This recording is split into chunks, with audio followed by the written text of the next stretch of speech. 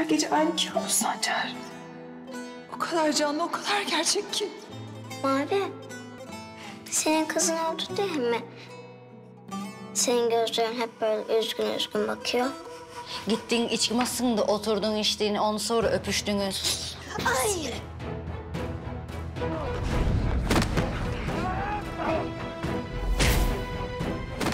Bebeğin Yahya'dan olmadığını biliyorum Dudu.